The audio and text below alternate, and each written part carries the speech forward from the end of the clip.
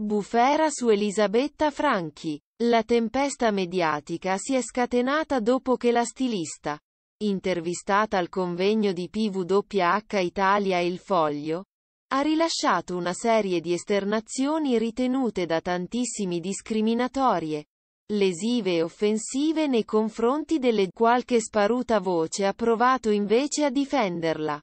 Tra queste c'è stata quella di Katia, sorella di Elisabetta, che di recente si è fatta conoscere dal pubblico televisivo per aver iniziato a frequentare il parterre del trono over di uomini e donne. Elisabetta è stata fraintesa, si è affrettata a dire Katia in una chiacchierata con il Corriere della Sera. La donna, che lavora nell'azienda di famiglia, ha aggiunto che la sorella, non intendeva dire quello che tutti hanno invece pensato e adesso viene massacrata. E ancora. Sono tutti bravi a parlare e a criticare.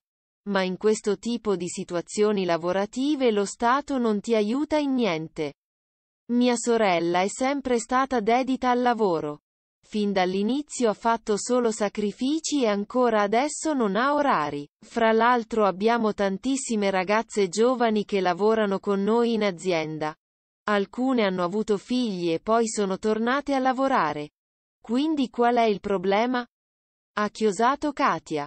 Forse Katia si scorda che le parole in questione sono state pronunciate direttamente dalla sorella e in modo ragionato, all'interno di un discorso altrettanto pensato.